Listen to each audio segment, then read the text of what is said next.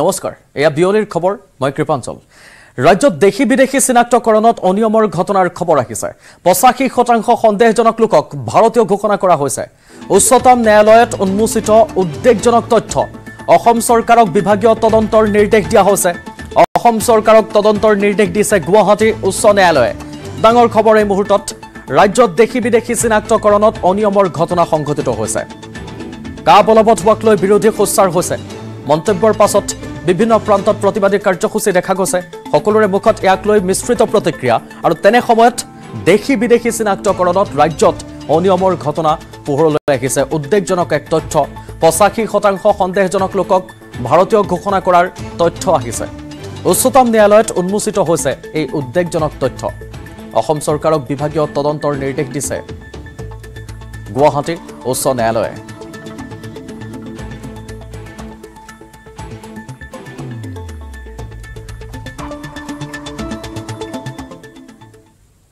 বৰহমপুৰ ননৈচুতীয়া গাঁৱত আঘাতপ্ৰাপ্ত বন্যহস্তীৰ আৰ্তনাদ। চিকিৎসাৰ অভাৱত মৃত্যুৰ ক্ষণ গণিছে বন্যহস্তীটোৱে। বিগত এমাহ ধৰি বৰহমপুৰ অঞ্চলটোত এটা আঘাতপ্ৰাপ্ত হস্তীৰ বিচৰণক লৈ শংকিত হৈছে অঞ্চলবাসী। বন্যহস্তীটোৰ আগফালৰ বাওঁ ভৰি আৰু পিঠিত স্পষ্ট আছে আঘাতৰ চিন। বন্যহস্তীটোক কোনো দুষ্কৃতিকাৰীয়ে চোকা অস্ত্ৰেৰে আক্ৰমণ কৰাৰ সন্দেহ কৰা হৈছে। আঘাতপ্ৰাপ্ত বন্যহস্তীটোক গোৱাৰ ৰাইজে প্ৰদান কৰিছে খাদ্য। আনফালে আঘাতপ্ৰাপ্ত হাতীটোৰ চিকিৎসাৰ ক্ষেত্ৰত নগাঁও বন বিভাগে কোনো ধৰণৰ গুৰুত্ব প্ৰদান নকৰাৰ অভিযোগ তুলিছে ৰাইজে। জৰুৰী চিকিৎসাৰ বাবে বন বিভাগক ব্যৱস্থা গ্ৰহণৰ আহ্বান জনাইছে অঞ্চলবাসীয়ে। বিগত এমাহ ধৰি চিকিৎসাৰ পৰা বঞ্চিত আঘাতপ্ৰাপ্ত এই বন্যহস্তীটোক আনফালে আঘাতপ্ৰাপ্ত হাতীটোক চিকিৎসাৰ ক্ষেত্ৰত কাজিৰঙা চিকিৎসকৰ দলক খবৰ দিয়া হৈছে যদিও এতিয়ালৈকে কোনো চিকিৎসা ব্যৱস্থা গ্ৰহণ কৰা নাই বুলি স্থানীয় লোকে জানিবলৈ দিছে। এনেকৈ আৰ্তনাদ কৰা দেখা গৈছে ব্ৰহ্মপুৰৰ ননৈচুতীয়া গাঁৱত। সংকটজনকভাৱে আঘাত পাইছে। আঘাতপ্ৰাপ্ত হাতীটোক এতিয়ালৈকে চিকিৎসা কৰা নাই। কাজিৰঙাৰ বন বিভাগকো খবৰ দিয়া হৈছে। তেওঁলোকো উপস্থিত হোৱা নাই। এতিয়া চিকিৎসাৰ অভাৱত যেন মৃত্যুৰ ক্ষণ গণিছে এই বন্যহস্তীটোৱে।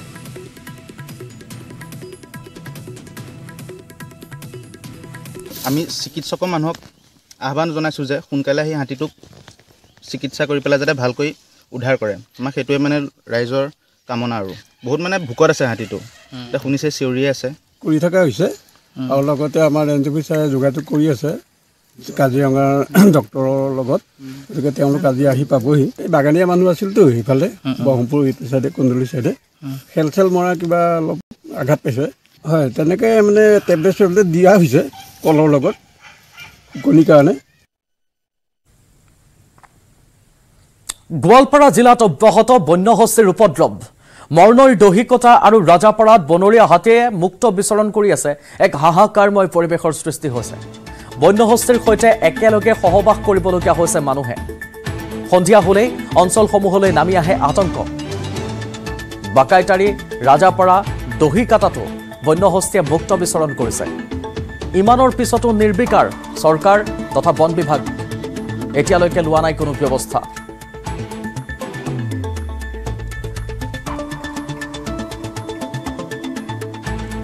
আৰু এই সংক্ৰান্তত আমাক দুধনৈৰ সাংবাদিক অৰূপ নাথে আৰু অধিক জনাব।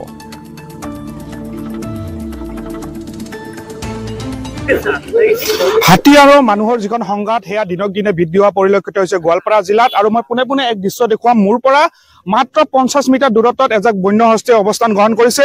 এই দৃশ্য হৈছে গোৱালপাৰা জিলাৰ মন্নৈ নিকটৱৰ্তী ৰাজাপাৰা গাঁৱত আৰু ৰাজাপাৰা গাঁৱত দিনৰ পোহৰতে এজাক বন্যহস্তীয়ে ইয়াতে যি মুকলি বিচৰণ কৰা আমি দেখিবলৈ পাইছো আৰু মোৰ সহযোগে সেই দৃশ্য আপোনালোকক প্ৰত্যক্ষ কৰাই আছে। আৰু কি ধৰণে গোৱালপাৰা জিলাখনত হাতী মানুহৰ সংঘাত দিনক দিনে বৃদ্ধি হৈছে তাৰ পৰিপ্ৰেক্ষিতত এনেধৰণে দিনৰ পোহৰতে মানুহৰ ঘৰৰ সন্মুখতে এনেধৰণে এজাক বৃহৎ বন্য হস্তি জাকে অৱস্থান গ্ৰহণ কৰিছে। আৰু হাতীৰ ভয়ত এতিয়া মোক সহযোগে দেখুৱা হাতীৰ ভয়ত কম্পমান হৈ ৰাইজসকল আচলতে পথলৈ ওলাই আহিবৰ কাৰণে তেখেতসকলে ওলাই আহিব লগা হৈছে। আচলতে ঘৰত থাকিব নোৱাৰে। যিকোনো মুহূৰ্ততে এই হাতীটোৱে ঘৰত আক্ৰমণ কৰিব পাৰে এনেকুৱা নজৰো নথকা নহয়। আৰু মোৰ সহযোগে যদি এক দৃশ্য দেখুৱাৰ কাৰণে অনুৰোধ জনাম এয়া হৈছে বসতিস্থল এয়া হৈছে মানুহৰ ঘৰ। সহযোগে যি আপোনালোকক দৃশ্য দেখুৱাইছে এয়া বসতিস্থল আৰু ইয়াৰ পৰা এই যে হাতীৰ দূৰত্ব মাত্ৰ পঞ্চাছ মিটাৰ দূৰত্ব হাতী আৰু মানুহৰ বাসস্থানৰ পৰা দূৰত্ব মাত্ৰ পঞ্চাছ মিটাৰৰ দূৰত্ব। আৰু এই পঞ্চাছ মিটাৰ দূৰত্বতে এনেধৰণে বন্য হস্তীৰ এটা জাকে অৱস্থান গ্ৰহণ কৰিছে আৰু আতংকিত হৈ পৰিছে স্থানীয় লোকসকল আৰু তেখেতসকলক তেখেতসকলক আচলতে এতিয়া আশ্বস্ত নহয়। কি ক'ব হাতী সদায় আহিয়ে আছে ওলাই আছে। হাতী আহি আছে। এনে এটা দিন নাই যে আমি শান্তিপূৰ্ণ বহিব পাইছো বা খাব পাইছো। ভাত কেইটা বনাব যাম হাতী আহি আক্ৰমণ কৰে। এই পৰিস্থিতিত আমি জানো জীয়াই থাকিব পাৰো। চৰকাৰৰ জানো চকু নাই ইয়াত। যে কি পৰিস্থিতিত মানুহ বিলাকে পৰি আছে? ৰাতি হলে শুব নোৱাৰো দিনত শুব নোৱাৰো বাৰটা নাই দিনত এটা নাই হাতী এটা এৰি এটা এটা এৰি এটা পাল আহি আছে। যোৱাকালিতো মোটামুটি নব্বৈটা হাতী আহিছে। এনেকুৱা পৰিস্থিতিত আপোনালোকে নিজে দেখিছে আমি কি ইয়াত জীয়াই থাকিব পাৰো? চৰকাৰে ইয়াৰ কোনো বিহিত ব্যৱস্থা যদি ল'ব নোৱাৰে তেতিয়াহ'লে চৰকাৰে এইবিলাকক আমাক মাৰবা পাৰ্মিশ্যন দিব লাগে।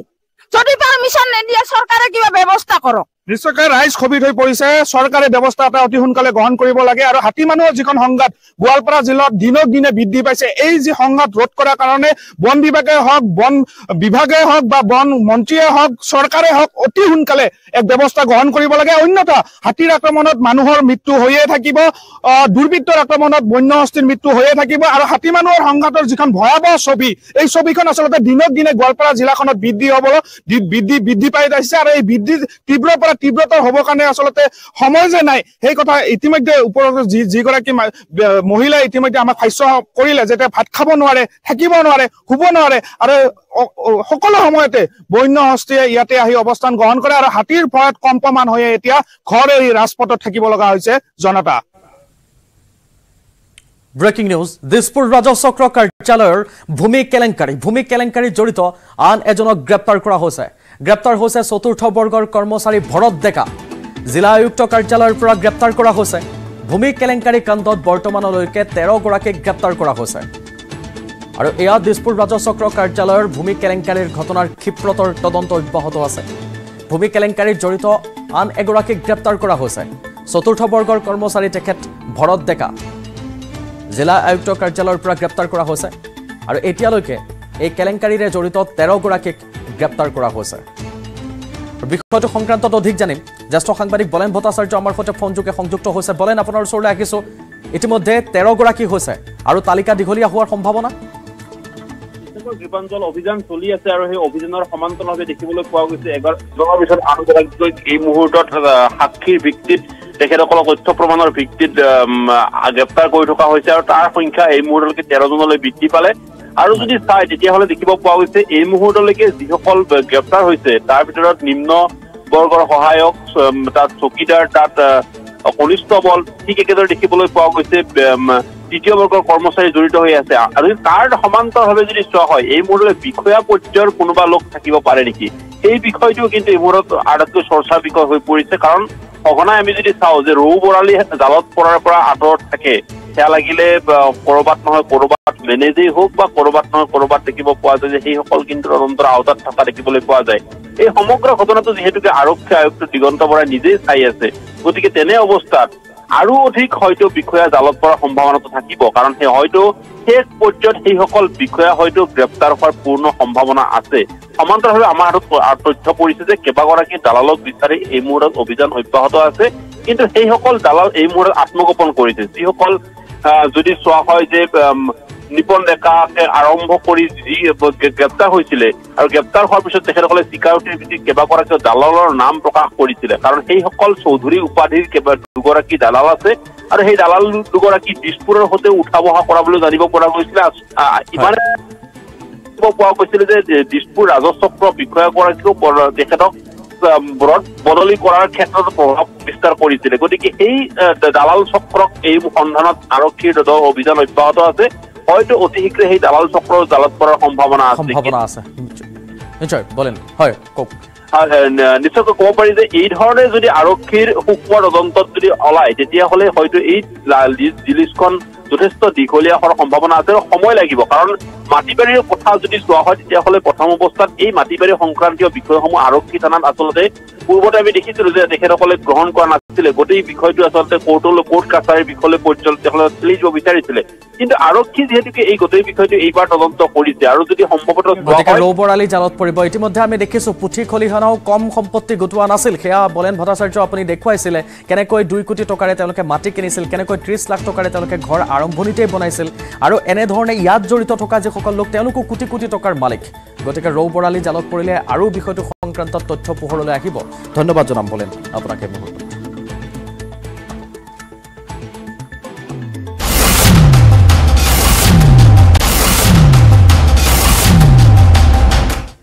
ব্ৰেকিং নিউজ কাছাৰৰ শিলকুৱাৰীত অগ্ৰপন্থীৰ গুলীচালনা।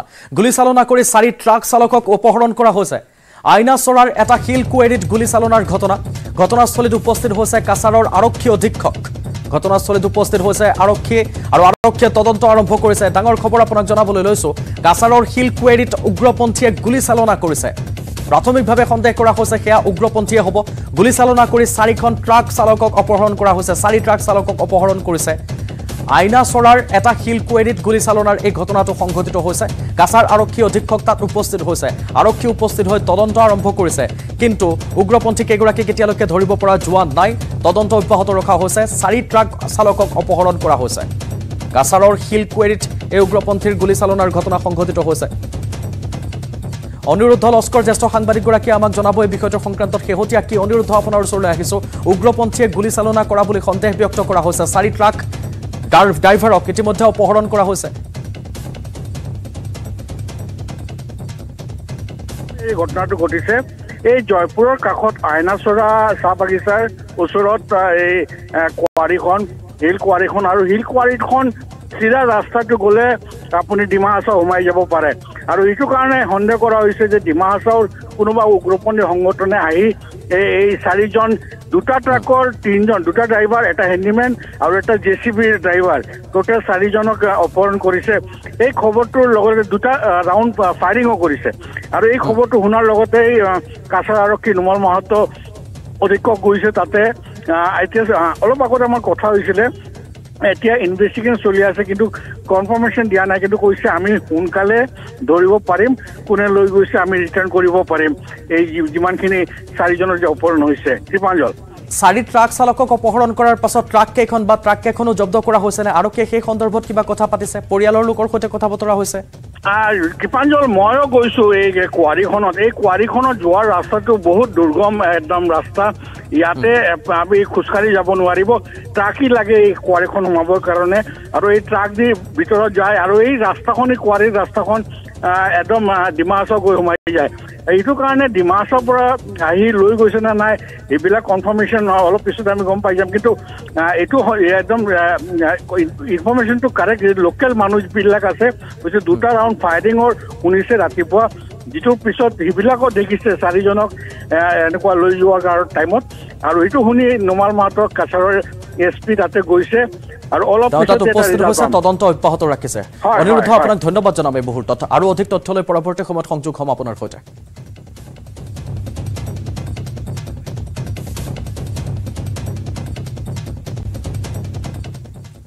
দুৰ্নীতিৰ খবৰ পালেই লোৱা হ'ব ব্যৱস্থা।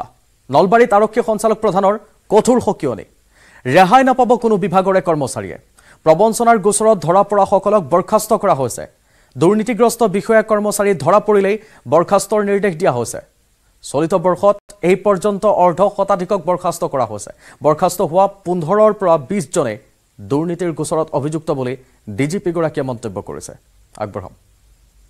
মানে আমাৰ পলিচি ইজ এবছলুটলি ক্লিয়াৰ য'ত আমি খবৰ পাই আছোঁ আমাৰ যিখিনি ভিজিলেঞ্চ এণ্টি কৰাপশ্যনৰ নম্বৰ আছে এইটো আমি ৱাইডলি চাৰ্কুলেট কৰিছোঁ। আৰু তেওঁলোকক নিৰ্দেশ দিয়া হৈছে যে নট মানে অকল আৰক্ষীয়ে নহয় যিখিনি যিকোনো গভৰ্ণমেণ্ট ডিপাৰ্টমেণ্টক খবৰ আহিলে একশ্যন ল'ব লাগে। ৰেগুলাৰলি লৈ আছোঁ।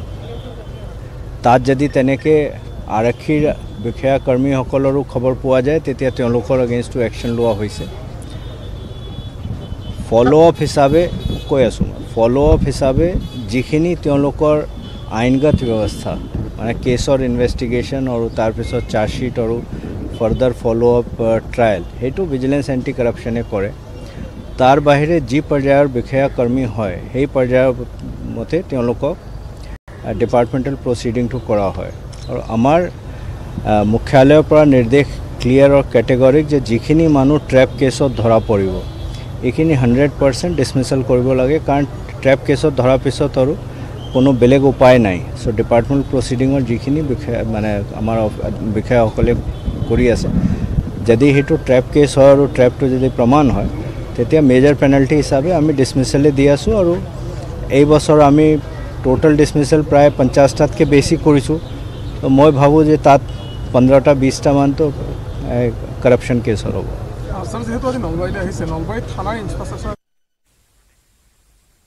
দক্ষিণ শালমৰাত জুই লাগি ছটাকৈ বাসগৃহ জ্বলি ভস্মীভূত হৈছে। বিয়লিৰ খবৰত লৈ আহিম। লৈছোঁ এটা বিৰতি। ভাৰতৰ গৌৰৱ গোটেই বিশ্বতেই ইয়াৰ সন্মান ষ্ট্ৰং মানে মাইথান ষ্টীল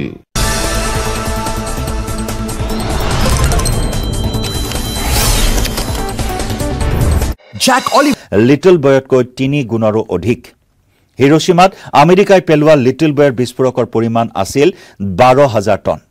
বাৰ হাজাৰ টন লিটল বয়ৰ বিস্ফোৰকৰ তুলনাত তিনি গুণতকৈ অধিক অৰ্থাৎ চল্লিছ হাজাৰ টন বিস্ফোৰকৰ বৰ্ষণ আৰু ক্ষুদ্ৰ গাজা ষ্ট্ৰীপৰ অৱস্থা কেনে হৈছে সেয়া নকলেও হ'ব বা সেয়া কল্পনা কৰাটো টান। তথ্য অনুসৰি চল্লিছ হাজাৰ টন বোমাৰ আঘাতত গাজা ষ্ট্ৰীপৰ দুই লাখ বাইছ হাজাৰ বাসগৃহ ধ্বংস হৈছে।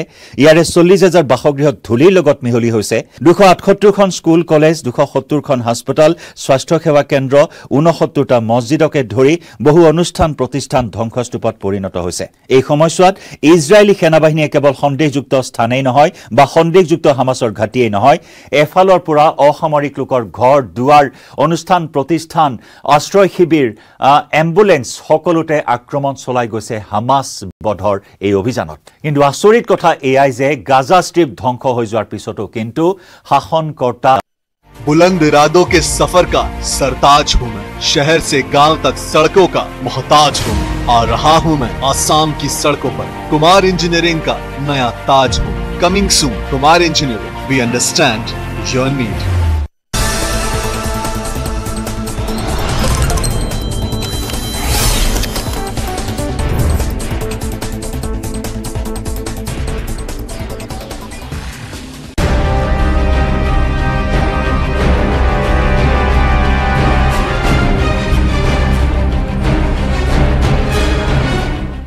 A P S C কেলেংকাৰীৰ তদন্তক লৈ মুখ্যমন্ত্ৰীয়ে মন্তব্য কৰিছে।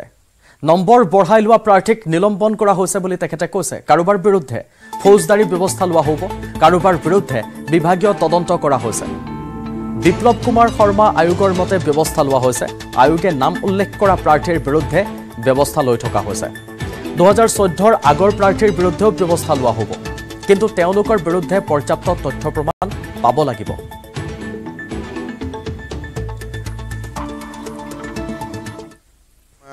ন্যায়াধীশ বিপ্লৱ শৰ্মা আয়োগে যিবিলাক নাম আমাৰ হাতত দিছিলে প্ৰত্যেকটো নাম চালি জাৰি চাই যোনে এক্সট্ৰা নম্বৰ পোৱাৰ কাৰণে চাকৰি পাইছে সকলোকে আমি নিলম্বিত কৰিছোঁ। কিন্তু কিছুমান অফিচাৰ আছে যোনে আদাৰৱাইজ হ'লেও এ পি এছ চি পালেহেঁতেন। গতিকে সেইটো এটা বেলেগ কেটেগৰী। যোনে নাপালেহেঁতেন তেওঁলোকৰ এটা বেলেগ কেটেগৰী। আমি সেইধৰণে এটা এটাকৈ কাৰোবাক ক্ৰিমিনেল একশ্যন হৈছে কাৰোবাক ডিপাৰ্টমেণ্টেল একশ্যন হৈছে। আগৰো যদি কিবা আয়োগে কাৰোবাৰ নাম দিছে চৈধ্যৰ আয়োগ আগৰ ব্যৱস্থা ল'ব পাৰিম কিন্তু মই ভাবোঁ তেনেকুৱালৈকে আমাৰ হাতত নাম অহা নাই। কাৰণ নাম আহিলেও নহ'বনে পেপাৰ হ'ব লাগিব ফৰেনচিক হ'ব লাগিব। আনফালে এ পি এছ চিৰ কেলেংকাৰী সন্দৰ্ভত শীঘ্ৰেই নিলম্বিত হ'ব ৰাজপত্ৰিত বিষয়া। ইতিমধ্যে একৈছগৰাকী A C S A P S বিষয়াক নিলম্বন কৰা হৈছে। কেলেংকাৰীত জড়িত সকলো বিষয়া নিলম্বন হ'ব বুলি শুকুৰবাৰে নগাঁৱত ঘোষণা কৰিছিল ডি জি পিয়ে আনফালে শুকুৰবাৰে এছ আই টিত উপস্থিত নহ'ল আকাশী দুৱৰা সুকন্যা দাস আৰু ধীৰাজ কুমাৰ জৈন।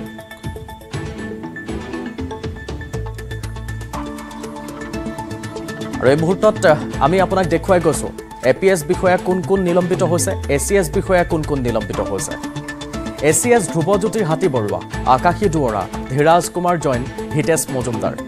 লগতে এঘাৰগৰাকী A P S Nandini Kakati Shahjahan Sarkar Farooq Ahmed কল্যাণ কুমাৰ দাস কুলপ্ৰদীপ ভট্টাচাৰ্য নীলাঞ্জল গগৈ অনলজ্যোতি দাস ঐশ্বৰ্য জীৱন বৰুৱা নিতুমণি দাস ৰুমিৰ তেৰণ পে দীপাংকৰ দত্ত লহকৰ নিলম্বিত হৈছে আবকাৰী পৰিদৰ্শক সৌৰভ প্ৰাণ শৰ্মা সমবায় সমিতিৰ উপ পঞ্জীয়ক বিকাশ শৰ্মা আৰু চক্ৰধৰ ডেকা। সহকাৰী নিয়োগ বিষয়া গীতাৰ্থ বৰুৱা। বিচিত্ৰ গোপাল নাথ আৰু ৰাকেশ দাসক নিলম্বন কৰা হৈছে। আৰু নিলম্বিত কেইগৰাকীৰ ভিতৰত ৰাকেশ দাস ঐশ্বৰ্য জীৱন বৰুৱা শ্বাহজাহান চৰকাৰ ইতিমধ্যে হৈছে গ্ৰেপ্তাৰ।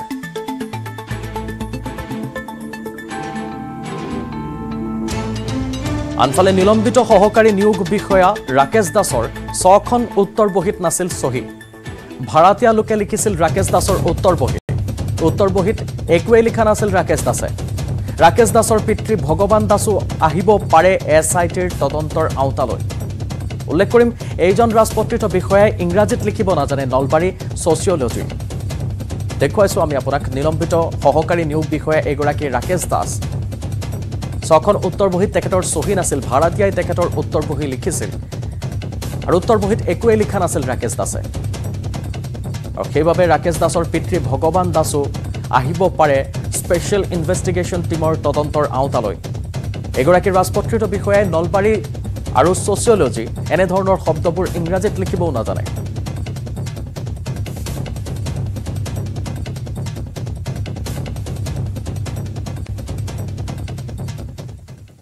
সমাগত নৱবৰ্ষক লৈ তৎপৰ হৈছে অসম আৰক্ষী। নতুন বছৰত পথ দুৰ্ঘটনা ৰোধক লৈ তৎপৰ হোৱা দেখা গৈছে আৰক্ষী পথ দুৰ্ঘটনা ৰোধৰ বাবে সকলো বিভাগক নিৰ্দেশনা দিয়া হৈছে। ষোল্ল ডিচেম্বৰৰ পৰা আৰম্ভ হ'ব বিশেষ অভিযান। আৰু নলবাৰীত এই মন্তব্য কৰিছে আৰক্ষী সঞ্চালক প্ৰধানগৰাকীয়ে। ৰাইজক সজাগ হ'বলৈও আহ্বান জনাইছে ডি জি পিয়ে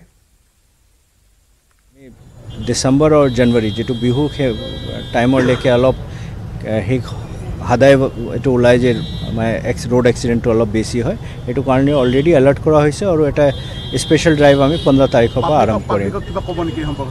মোৰ সেইটো মানে কেইটামান স্পেচিফিক কথা আছে। এক নম্বৰটো হ'ল যে অকল টাউনত নহয় বাহিৰত যেতিয়া ওলাই মানে চিটি টাউনৰ পৰা বাহিৰত তেতিয়াও হেলমেট পিন্ধিব লাগে। আৰু হেলমেট অকল মটৰচাইকেল চলোৱা মানুহ পিন্ধিলে নহ'ব মটৰচাইকেলত বহা মানুহ পিন্ধিব লাগে।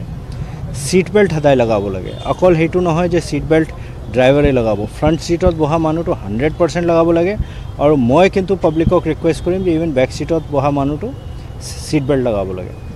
তিনি নম্বৰ অ'ভাৰ স্পীডিং কৰিব নাপায় কাৰণ অ'ভাৰ স্পীডিং কৰিলে ডেমেজ হয়। চাৰি নম্বৰ যিটো অসমত এটা মেজৰ কাৰণ এক্সিডেণ্টৰ হৈছে সেইটো হৈছে যে মানুহে ৰিভাৰ্ছ ডাইৰেকশ্যনত গাড়ীটো চলায়। বিশেষভাৱে এতিয়া যিটো মাজত ডিভাইডাৰ হৈ গ'ল আৰু দুই ছাইডত ডাঙৰ ডাঙৰ ৰোড হৈ গ'ল চ' ৰং ছাইডৰ ড্ৰাইভিঙৰ অভ্যাসটো এতিয়াও বহুতখিনি মানুহৰ আছে। এইখিনি চাৰিটামান কাম কৰিলে আৰু মদটো মই সদায় কৈ আছোঁ মদ নোখোৱাকৈ গাড়ী চলালে তেতিয়া মই ভাবোঁ এক্সিডেণ্টৰ ৰেটটো যথেষ্টখিনি কমিব।